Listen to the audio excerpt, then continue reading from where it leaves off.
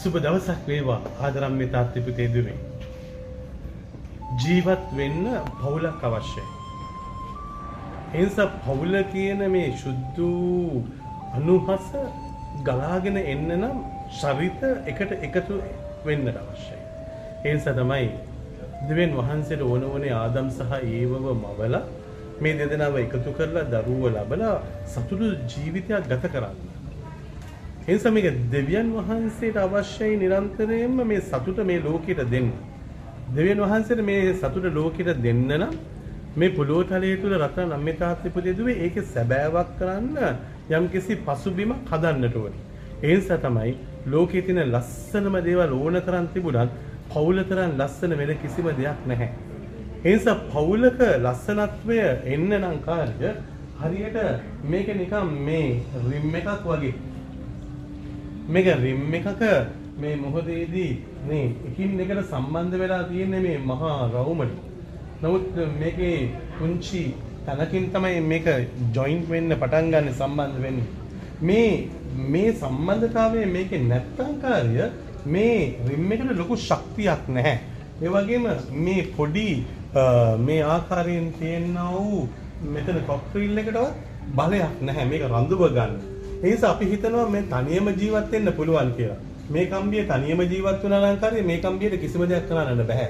මේ ඔක්කොම එකතු වුණාම තමයි මේක ලස්සන වෙන්නේ. එතකොට තමයි මේක කරගෙන්නේ. මේක යන්න පුළුවන් වෙන්නේ. මේක නැමෙන්නේ නැත්තේ. ඒ නිසා රත්න මේ තාත්තේ පුතේ දුවේ පෞල් ජීවිතයේ ඇතුලේ කවුරු හරි හිතනවා නම් කාර්ය මම මගේ ලෝකේ මං තනාගෙන තනියම ඉන්නවයි කියලා ඒ අයගේ ජීවිතවල වැඩිදුර යන්නට බෑ. ඒ නිසා ලොකු දුරක් යන්න නම් ගැඹුරු සම්බන්ධතාවයක් ගොඩනගා ගන්නට ඕනේ. දැන් අපිට පේනවා දැන් මේ විදිහට මේ නිර්මාණය සිදු වෙද්දී ඊට පස්සේ පොඩි පොඩි ඒවා ගොඩාක් තියෙනවා. මේක තමයි විවිධ ජීවිත චරිත. ඒ නිසා ඔබේ මගේ ජීවිතයත් එක්ක තවත් චරිත තිබ්බොත් විතරයි ඒ චරිතයට ලස්සනක් එන්නේ. රත්නම් මේ තාත්ති පුදේදුවේ අපි නිකමන නිකන් ඔහොම මෙහෙම රිම් එකක් දැක්කනම් කාර්ය අපිට ඒ තරම් වටිනාකමක් නැහැ. හැබැයි ඒ රිම් එකට මොකද කරේ හැඩතල දීලා එක එක වර්ණවල සුදු පාට රිම් එකක් මේ හරිය තියෙනවා කළු වෙලා ඊට පස්සේ ඊට පන්දමක් පත්තු වෙනවා කොළ පාට ගතියක් ඇවිල්ලා මේකේ විවිධත්වයක් තියෙනවා. ඒ නිසා මේ පෞල් ජීවිතයේ ඔබේ පවුල විතරක් තිබුණොත් මේ පොළොව තලේ ඒකේ සුන්දරත්වයක් නැහැ. ගොඩක් අය කියනවා අපේ පවුලේ දේවල් විතරක් අපි බලාගෙන ඉමුකෝ අනිත් අයගේ පවුල් වලට අපි අර ගන්න ඕනෙත් නැහැ ඒගොල්ලන්ට අපේ පවුල් වලට එන්න දෙන්නත් ඕනේ නැහැ දැන් රත්තරන් නම් මේ තාත්තේ පුතේ දුවේ ඔබේ පවුල විතරක් තිබුණොත් මේ ලෝකයේ තුල ඒක කිසිම ලස්සනක් නැතුව යනවා. මෙන්න මේ වගේ මේ පවුල් ඔක්කොමත් එක්ක එකතු වෙලා ඒ නිසි තැන නිසි තැන නිසි වෙලාවට නිසියාකාරව ඉන්න දැනගන්නට ඕනේ. ගොඩක් වෙලාවට මේ මේ ස්ථානගත වීම තමයි තේරෙන්නේ නැත්තේ.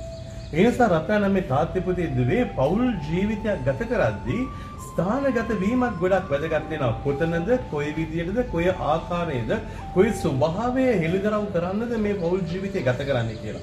එදාට තමයි මේ පෞල් ජීවිතය සාර්ථක වෙන්නේ. ඉතින් මම ඔබට ප්‍රාර්ථනා කරනවා එවැනි ලස්සන දිවි පෙවතක් ගත කරන්න දේව ශක්තිය, දේව බලය ගලාගෙන ලැබෙන්නයි කියලා. ඉතින් පෞල කියන ඒ සුන්දරත්වය ඇත්තක් වෙන්නේ මේ වගේ මොහොතක. එහෙනම් ඔබට යාඥා කරනවා යෝගී සුද්ධව දවසක පෞල් ජීවිතය සාර්ථක වෙන්න කියලා. ඉතින් මේ පෞල් ජීවිතය ගැන කතා කරද්දී මේ මොහොතේ මට පේනවා කපල් එකක් එනවා.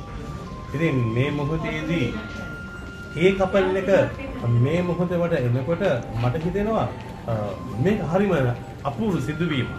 ඉතින් ඒ නිසා මේ ඔබ ගොඩක් දන්න වානු ඒ වගේම සඳුනි මේ දෙන්න ඔබට හොඳට දන්න මූණුව. මේගොල්ලෝ අපේ පාරකේ ඉන්න දරුපැට. ඉතින් මේ මොහොත වෙනකොට අද ඒගොල්ලන්ගේ විවාහය.